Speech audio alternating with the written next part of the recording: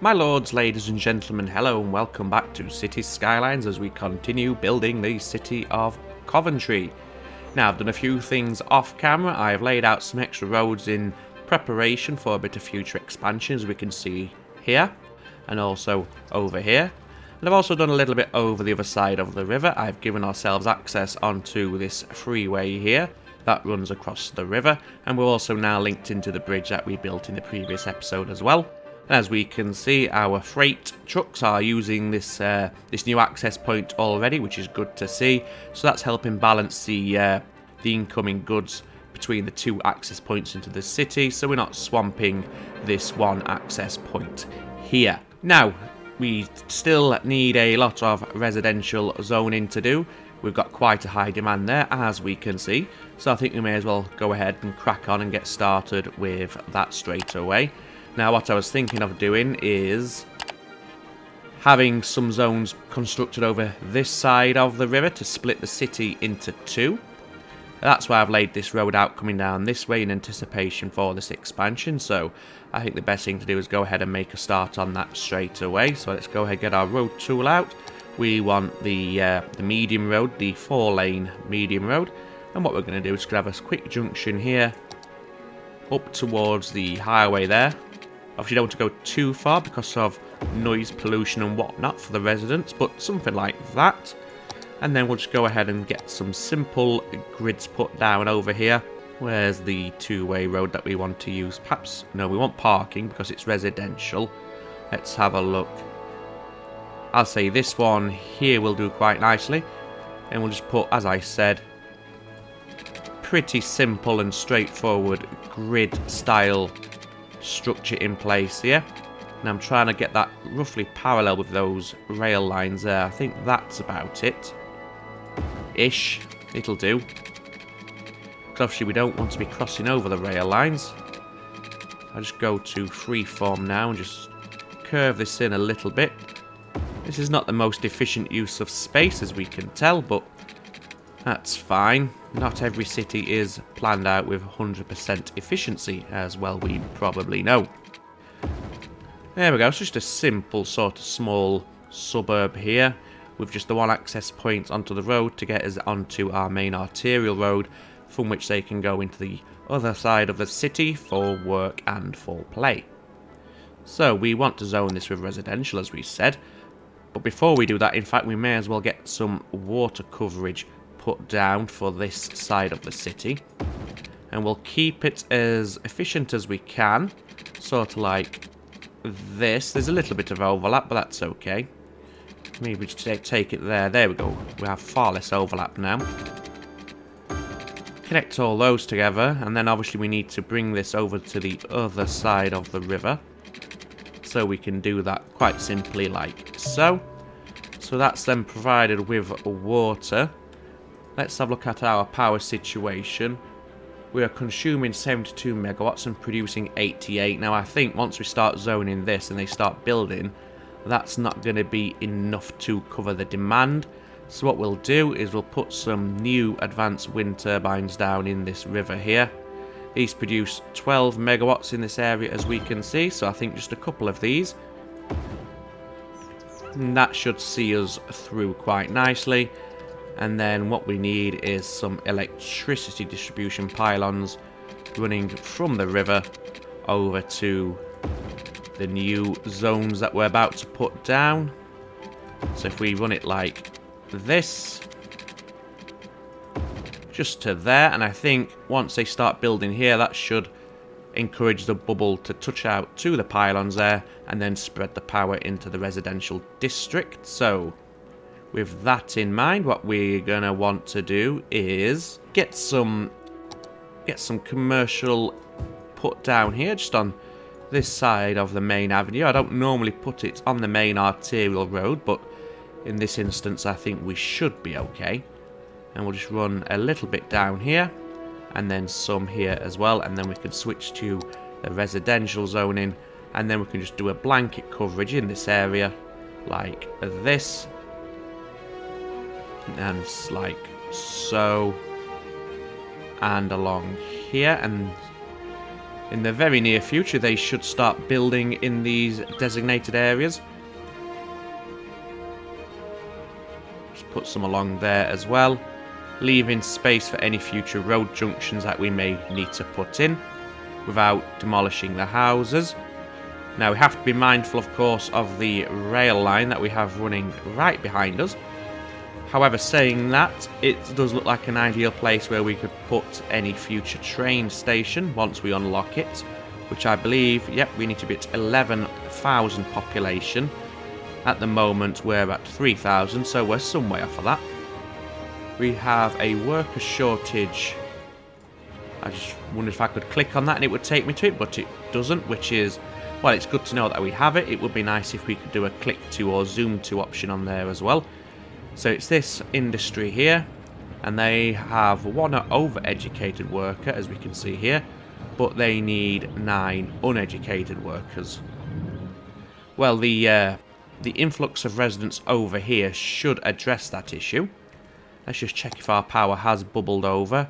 No, it hasn't, so what we are going to have to do is encourage a bit of commercial development along here, and then that should cause the bubble to spread over the other side of the road.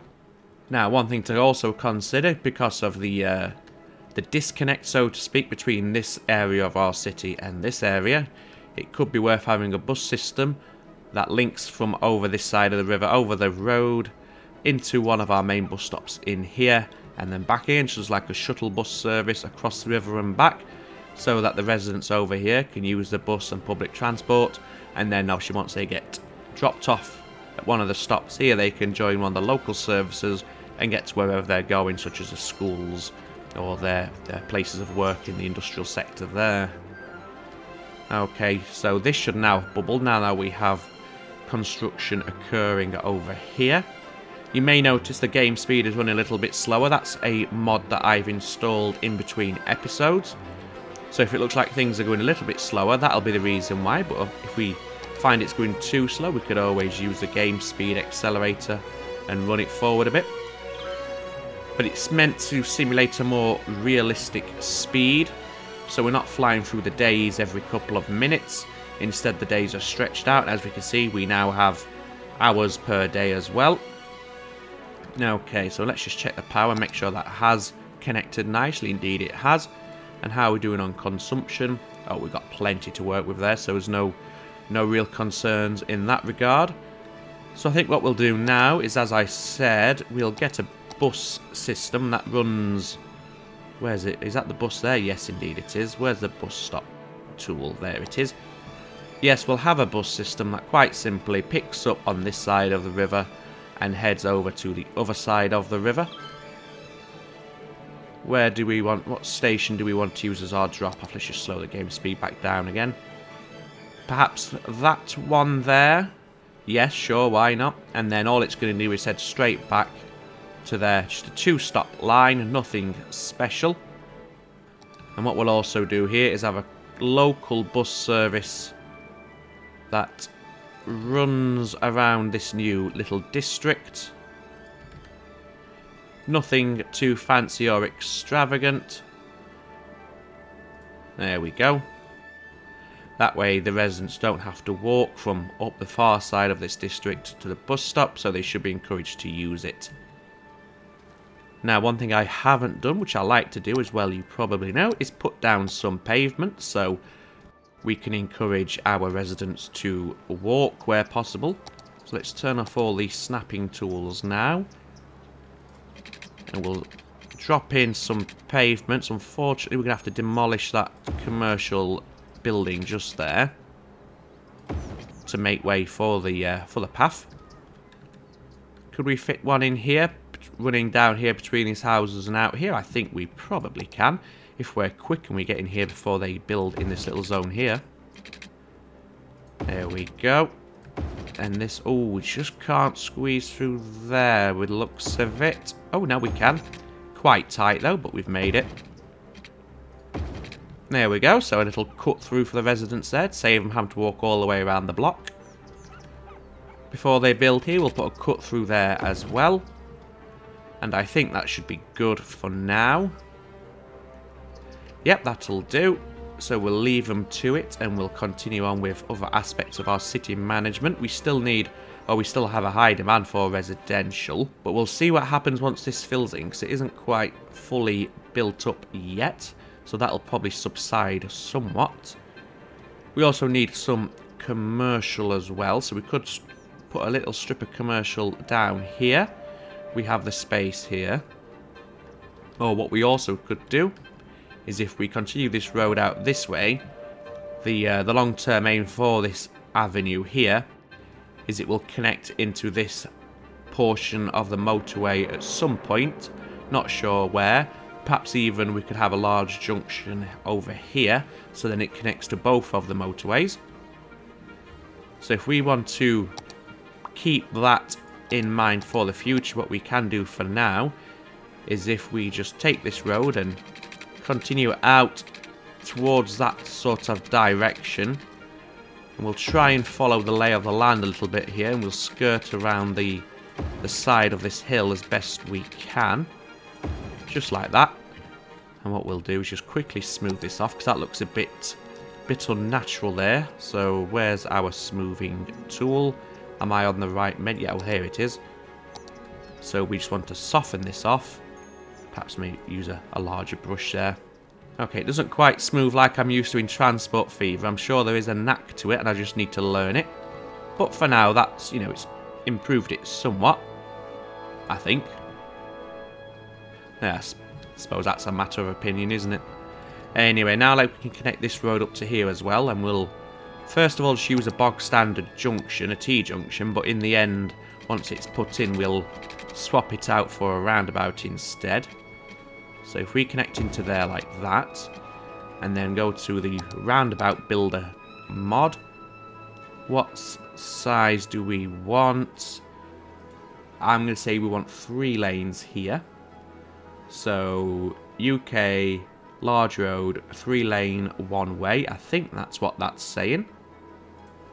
At least that's my interpretation of it. What size is that? 25. Let's just increase that to 30. No, that would be the world's biggest roundabout. There we go. So we'll have a roundabout connection there. I'm not sure I like the fact it humps up and humps down, but we could level that terrain off and just rebuild and reconnect that, but it'll probably not look as neat as it does in terms of the uh, the circle. Okay, so now what we can do is we have some space here to put another residential district, although this is fertile land here. So we may want to reserve this for some farming industry if we want to explore that. So perhaps instead we'll zone our residential, continue along the river and connecting up here. That might be the better option, I think. So we'll do that and then we're not going to rule out the possibility of any future farming industries if we do decide we want to use it in, as I said, in the future. So we'll just follow the curve of the riverbank there. And then this will be just a nice straight connection. Sort of like that. Yeah, that's fine. And then, once again, get the roundabout constructor. This only needs to be a two-lane roundabout, I would think. And we want medium road, so that's small road. UK medium road, two-lane roundabout. Not so large. I'd say we could probably go for 20... Uh, it's not 20 tiles, is it? I'm not sure why the uh, the tooltip, that's the one, is so far away from where the cursor is, but never mind. So as you can see now, we've got quite a few roundabouts running down this central avenue. But ideally, or in theory, they should help traffic flow a lot better than a stop-go sort of T-junction, so we'll keep them in. And now we can go ahead and zone some of this up with some more commercial, sorry, some more residential areas. And we'll say run from around about there. Just trying to make good use of the space here. That's almost perfect. That'll do. That Yes, that they butt against each other quite nicely. And then we'll put one more here, which is less efficient use of space. As we can see, we have overlap. And then we'll go as far as there, and then do a right turn into that road there. Perfect. Let's get some of this filled in, shall we? So we'll just zone that section there. Then we went to get we want to get the commercial zone in tool. And we'll put some commercial just alongside the main road here, making sure we're not making them connect to the roundabout, which doesn't make any sense. You wouldn't have a shop front on a roundabout because you can't park on a roundabout. There we go. And then we can just fill the rest of this in here with some more residential. Perhaps not that square there because nothing would build there. And then we can continue with the water system down here. And where's decent overlap? Okay, that's just out of the city limits, of course it is. There we go. Nice efficient coverage there. And that between this little district here and the one over the other side of the river, we should have nice coverage, uh, sorry, nice uptake on this high demand here. There's one of our buses just making his way around this little suburb. Where's our connection bus? Is it the... Uh, is it the pink one? I'm not sure. Let's have a look. Yes, it is. Not sure what that white bus is doing. I'd, I'd imagine, unless it's just the colour they've decided. But I always thought they assigned them the the line colour, unless it's a mod and it doesn't have that colour option available. Who knows? Now, let's just take a moment and check how we're doing. So water and sewage is absolutely fine. We have about 25,000 cubic meters of capacity remaining. Garbage, we are almost full on our landfill, as we can see. Up to 90%. And I think now that we're making decent money, now is probably a decent enough time to go ahead and put in a recycling centre as well. And then we can phase out this landfill and instead go towards the uh, recycling. So if we put it there, what's the capacity? That's it's only 24,000, so we probably want to go ahead and have a second one as well. And we'll put that one just up here. No, away from the forestry, because I'm not sure what sort of effect the pollution would have. We'll put it there. We'll squeeze it in there. That should take us up to 48,000. Indeed it does. Our production is 82,000, so we're not meeting the demand there, but it's a start. And it's going to help alleviate the burden on this landfill as well. And in fact, could we now start emptying that out? I think we could, and start processing it in the recycling centre instead. In terms of education, we do have just about enough spare capacity, although once all this builds up, that might change, depending on how many children move in, but we'll keep an eye on that. High school, uh, plenty, we've got a good buffer there, don't need to worry about that. We don't have any universities yet, so that's irrelevant. How are we doing on healthcare? Only two sick citizens, and we have a capacity of 100. Heating we've not done yet, but we might do it in the future actually. Good capacity on the cemetery, so nothing to worry about there yet. Traffic. Obviously this is quite busy, but our average traffic flow is in the high 80s. Oh, it's just tipped over to 90%, and that's the one you want to concern yourself with. I like to aim for anything over 85%.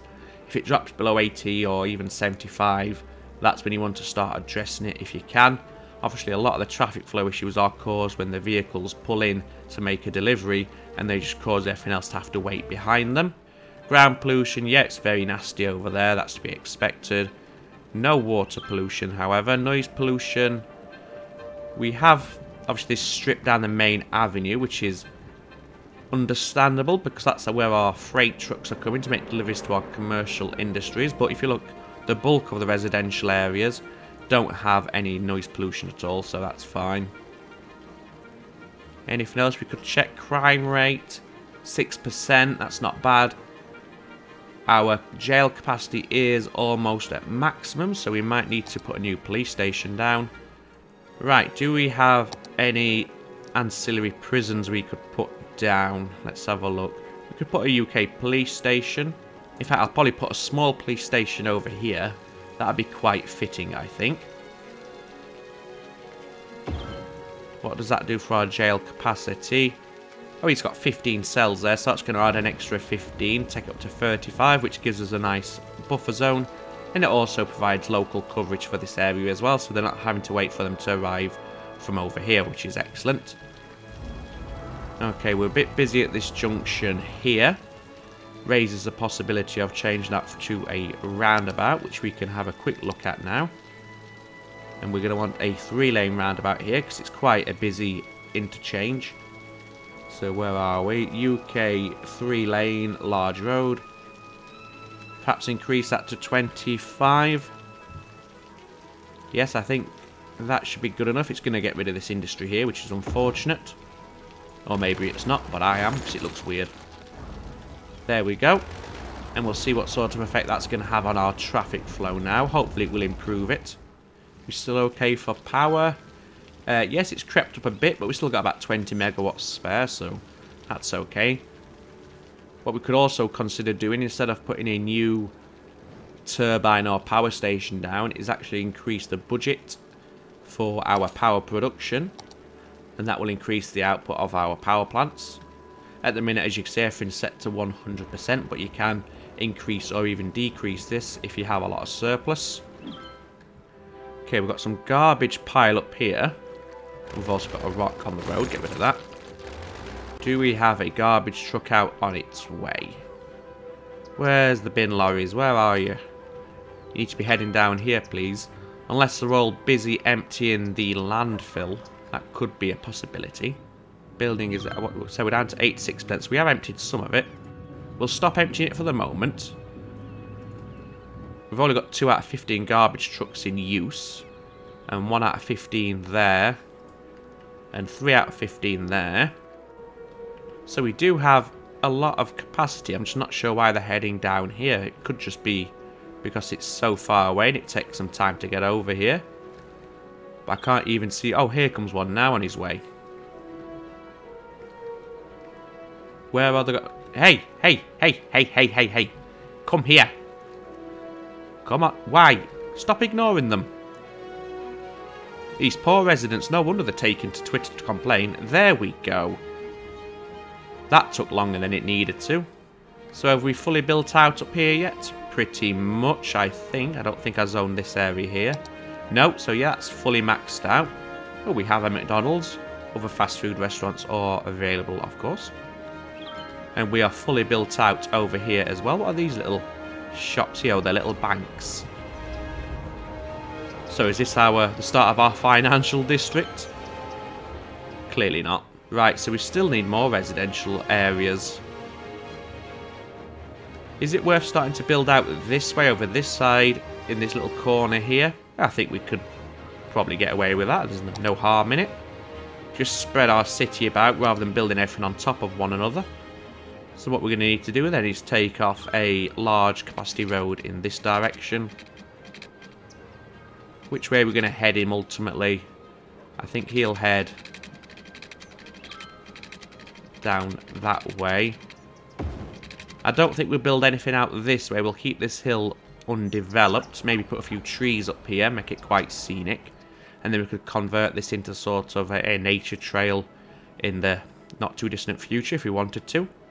But for now, let's focus on getting some more residential and commercial put down because they're calling out for it. So we'll have a tap off down here. I'd say we'll go as far as that. And then we'll just follow the motorway along here. And then come back in there. And then obviously we've got a nice big area here to put down some residential buildings. So we'll do that. Just try and make decent use of the space here. There we go, that's not too bad. And about there. Not quite, perhaps. No, that's even worse. We'll go for that. That was a little bit more efficient than the other option. Plus it leaves space for a footpath. And then we'll have one more come off here. And in fact, you know, you can't quite merge into there, which is unfortunate. And we'll just have this as a little cul-de-sac up here. distance too short? It clearly isn't. That's quite a quite a distance there, but there we go. That should be nice enough, I think. Yep, we're going to need water down here, so we'll put our main access pipe there. And then off this pipe we shall branch off and get decent coverage. Like this. That's not quite efficient, but it'll do. There we go. And then they can just connect in to the main branch here. And then this will obviously run off into the city to be connected into our water source. There we go. We'll need power. Fortunately, we have our wind turbines just up here, so quite simple just to run the power lines down here. And then we'll get this zoned in with some commercial and then the residential to create the power bubble. Let's get that done. So we'll have all this here as commercial and a little bit there and there. Obviously along the main avenue here will also be commercial as per. And the rest, in fact we can have, yeah that'll be commercial, but all this in the middle will obviously be our residential. A few erroneous little zones that we can get rid of, just like those two there. And then all this eventually will become commercial. However, we have no demand at the moment, so we don't want to oversaturate them. And we'll see what they do with that. Why? Where are they all going? Everybody's decided to and come this way now, which is... That's fine if it's quicker for them and it balances the traffic and it keeps them coming from down here. That's okay. Could probably go ahead and put a bus connection down here as well, like we did up in the other side of the river. So they would come this way, straight over here. They could connect in, where's our nearest bus stop on the green line? Is there a bus stop there? I think there is, yep. And then they can come back all the way out here, back into there. Bit of a strange loop around there, but it's fine. At least they're not doing a U-turn on the road like they tend to do on Transport Fever. So that's uh, that's fine. Let's go ahead and just have a little local service down here as well. There we go, just to get him in and around this little area. So it's probably not a bad idea in the near future to get a elementary school down here. Institute of the... What else do we have here? Fine Arts Museum, which is a high school. Cleakerson's Elementary. That has a capacity of 550. That's quite interesting. Community school. This is an alternative to elementary school. We'll go for a community school over here, I think. And we'll put it there because we have a bus. In fact, no, we'll put it this side. And the bus stop is right outside, which is obviously uh, quite logical and quite useful. What else are we going to need? We'll probably want a small police station out here as well, but we'll just uh, wait and see what happens. We don't want to overtax ourselves. We're still hovering about plus 1,000 a week, but we don't want to send that negative, so we'll do that slow and steady as and when it's needed. Traffic's looking pretty good. None of our roundabouts seem to be at a standstill anymore. How's the roundabout here that we put in? That's Yeah, that's flowing a lot better than it was previously, so happy with that. Okay, so the landfill is now full. So we have no choice now but to empty this. So they should start taking that over to the recycling centres, which is going to overtax our garbage capacity while they burn through all of this. Do we want a third recycling centre? We could afford it. What's the difference here?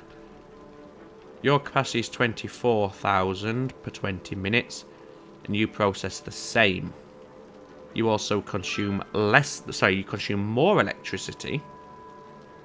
So I'm not sure why you would opt for that. I suppose it's, oh, there's no pollution on this one, but there is noise pollution. Uh, we'll have one.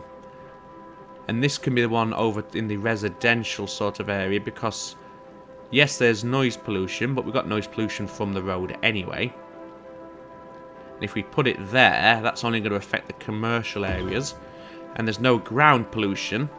And this should encourage these to focus on this part of the city. We do have trash build-up, as we can see, in two locations. At least, I hope it's just the two. Yes, it is. So at the moment, our residents are swimming in their own filth. We just need to get this emptied, and then we can even get rid of it, I think, and then see if we have enough garbage processing capacity with the free recycling centres. Oh, almost. Look, we're producing 75,000 units per 20 minutes. And we could process 72,000 per 20 minutes, so that's fine. What we could do is increase the budget temporarily. If we set it to, say, 110%, we should be able to afford that increase. Yes, we can, just about. And we'll see what that does for our processing capacity. Where are we? Here we are. Okay, so that's, all that seems to have done is actually increase the garbage production. Oh no, it's also increased the capacity as well. Okay, well unfortunately they might have to just live with a bit of a pile-up for a couple of days while the trucks make their way over. But once that's gone, we can get rid of this building because we can't demolish it yet because it's full. And once it's been emptied, we'll replace it with another recycling centre over here. I must admit I'm not sure if I'm overly keen on this time adjustment mod. Things seem to be going an awful lot slower than I'm used to. Maybe it's more realistic, but uh, it's not the city skylines I am used to, so I might uninstall it for now, or disable it for now. I'll keep it downloaded, we can always put it back on later if we want to, but I think I prefer it in the, uh, the default vanilla settings, if I'm honest. Okay, well I think what we'll do then is we'll call this episode done. I hope you enjoyed the episode. If you did, go ahead and give that little thumbs up a tickle there. And you can also consider subscribing to the channel to keep informed and abreast of future episodes. And if you have any feedback, suggestions, comments, or, you know, your own experiences maybe even with this time manipulation mod if you use it. Go ahead and just drop that in the comment section below, I do read them all. Our city is massively on fire, that's a brilliant way to end it. That's cracking, well done. Hopefully that won't cause too much damage, but as we can see I think we have every fire truck in the city attending this, which is understandable because one whole block is on fire. That's quite unsettling. What a way to end it. Our residents are both swimming in garbage, and now the city's on fire. Cracking. Well, hopefully in the next episode our city won't have been reduced to cinders and ash, but we shall see. So thank you for watching. All that remains for me to say is take very good care of yourselves. Ta-ta for now.